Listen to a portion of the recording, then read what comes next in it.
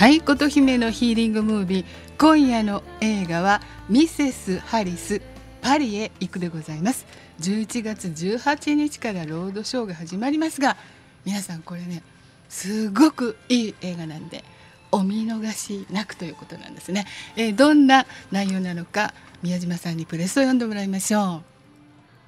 う。ミセス・ハリスパリへ行く。第二次世界大戦後のロンドン。夫を亡くした家政婦ハリスは働き先でクリスチャン・ディオールのドレスに出会う。あまりの美しさに完全に見せられたハリスはディオールのドレスを手に入れるためにパリへ行くことを決意する。なんとか集めたお金でパリへと旅立った彼女が向かった先はディオールの本店。威圧的なマネージャーのコルベールから追い出されそうになるがハリスの夢を諦めない姿勢は出会った人々を魅了していく。果たして彼女はクリスチャン・ディオールのドレスを手に入れて夢を叶えることができるのだろうか。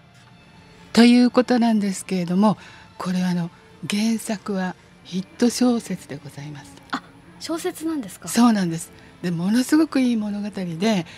えー、今のあの何ですかね説明だとなんかただただディオールのねドレスを欲しがってるおばさんっていう感じなんですけど。そうじゃなくて、はい、もうすぐ60歳の家政婦さんのおばさんが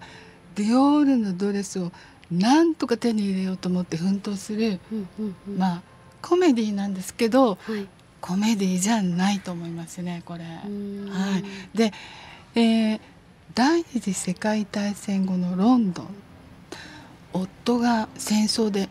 行方不明になってしまったハリスさんは、はい、もう10年ぐらい家政婦さんをしながら暮らしています。はい、でこの頃のロンドンというのはたくさんの貧乏な人たちと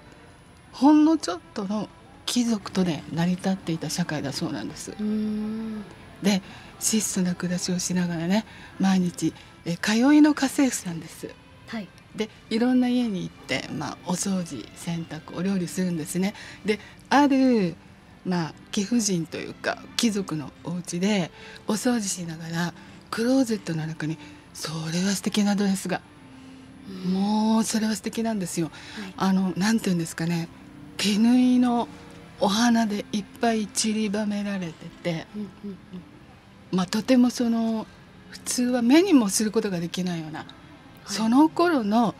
オートクチュールですよね。で現代はちゃんとオートクチュールのファッションショーって定期的に開かれてますし、はい、プレタポルテに至ってはもう街中ありますでしょ、はい、だけどこの頃はそういったオートクチュールのファッションショーなんてないんですよ。うん。あそうか。本当にごく一部の限られたお金持ち貴族だけに見せる内輪のファッションショーをやってそこでお客さんをあのつけてもらって、うんうん、っ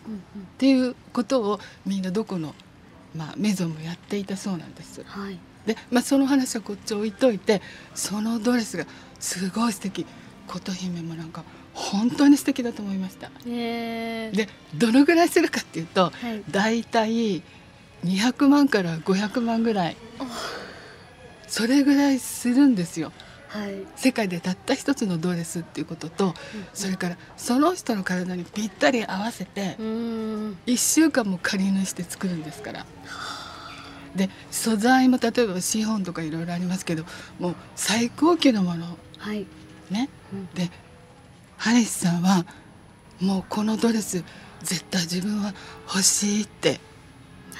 思いました。それで一生懸命お金を貯めてきます、うん、ところがそんなドレスを持ってる貴族のおば様、はい、ハリスさんにお給料を払わなかったりするんですよね。あんまり無駄遣いしてるからじゃない？でそんな何百万もするドレス買ったら、はい、どっかで詰めないといけないじゃないですか。えー、で私もえー、ひどいなと思って見てたんですよ。はい、であともう一人ちょっと変わったまあなんとかその女優になりたい若い女の子がいるんだけど、うんうん、この子もすごいだらしない暮らししてて、はい、お金の払いが悪いのよ。でそんな中でもうなんとかお金貯めてとうとうハリスさんパリ行きました。はい、で現金持って、えー、ディオールすぐ行きました。はい。そうしたらあんたなんか何よっていう感じですよ。ところがですねこのディオールのメゾンの中で働いてる人たちはみんなやっぱり労働者じゃないですか。はいでこのハリスおばさんがあまりにも真剣になんとかディオールのドレスを手に入れようとしてるんだっていうのが分かったんで、うんうんおはりこさんとかマネージャーがはい味方してくれた上にここのディオールのお得意さんの講釈が「いやいいじゃありませんか私と一緒に見ましょうよ」っていうことになったんですよファッションショー。それでね、まあ、ハリスさんはディオールのね、はい。ファッションショー見ましたけど素敵でしたよ。そのそのシーンだけでもこの映画は成り立つと思うんですけども、うん。そしてグリーン色のねはい。ドレスをとうとう手に入れました。はい。でもこれから1週間どうやってどこに泊まるんでしょうか。ギリギリでやってきたので。